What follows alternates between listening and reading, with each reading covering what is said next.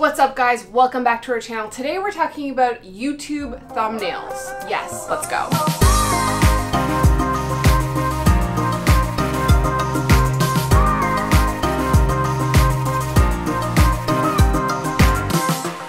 The key to a good thumbnail for me personally is the typography and the photo itself but also it should match what the video is about. As I mentioned before, your thumbnails, your banner, that's all gonna give people an idea of what your content looks like. So make sure you shoot a photo that represents the video or just take a screen cap from the video and then that's the easiest way to make sure that it looks the same. If you caught my video with Lizzie Pierce a couple of weeks ago, we talked about the YouTube banner, but we didn't talk about thumbnails at all. As I mentioned in those videos, I'll mention it here again. The design of your channel is the first thing that people are gonna see when they come to your channel. And that's kind of gonna give the audience an idea of what your content looks like. So if you're followers of this YouTube channel, you know that a couple of weeks ago, shit, it was like a couple months ago. A couple months ago, we went to Arizona and that was like my dream. So today I'm gonna give you guys an example of how to make kind of like a travel lifestyle thumbnail. And I'm gonna use a photo that I took during that trip. And then later on, I'll show you how to take a screenshot of your video and then use that in the thumbnail. This is a Photoshop tutorial. So if you don't know Photoshop, well, you should learn Photoshop. It is a very valuable skill to have. You can also use an app like Canva or PicMonkey. The same kind of concepts apply. I am just gonna bring this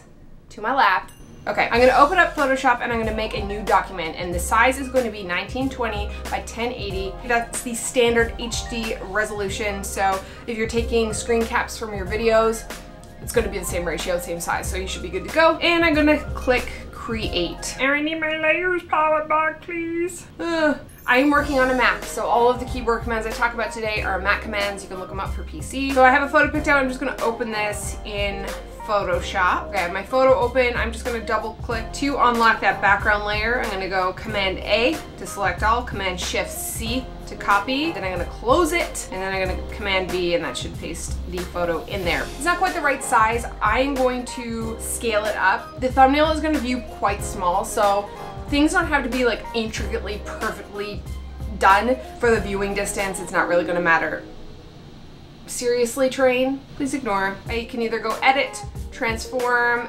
and uh, scale, but I like to use keyboard commands because it saves time. Command T is transform so long as your layer is unlocked. So that brings up these little boxes here. I'm gonna hold shift and option and that's basically gonna lock the aspect ratio and lock it to the center. I'm going to just scale that up to where I'm pleased with it. And I'm gonna move that down because I'm gonna wanna put my text above Chris's head. I might readjust that a little bit later. So hit enter to make that transformation happen. So what I want my title to say is Grand Canyon Travel Vlog. That's not normally how we uh, name our episodes. We usually go episode one, two, three, whatever. Um, but today I'm just gonna show you how to do that. So in order to get type on your photo, you're gonna hit T on your keyboard. That's gonna bring up the type tool. So I'm just gonna click once and I'm gonna type out Grand Canyon.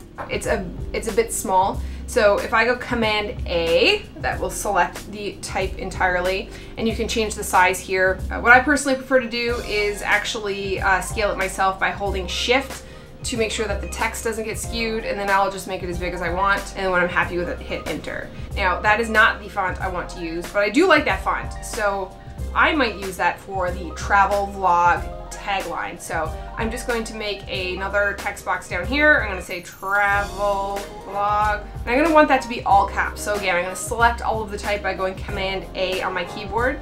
I'm gonna go up here to character, and I'm gonna make this all caps by hitting this double T all caps button. Boom, done. I'm gonna let that chill there for a sec, and I'm gonna work on the Grand Canyon type. So I'm gonna come back up here on my layers palette. As you can see, Every time I've used the type tool, it creates a new layer on, in the layer palette there. So these are the titles that you'll be able to edit here. So I'm gonna go back up to Grand Canyon. I'm just gonna uh, double click on that to select it. And I'm gonna change the font. I'm gonna use this font called ball pen. As you can see, if I zoom in, there's like a lot of space and that looks kind of bad.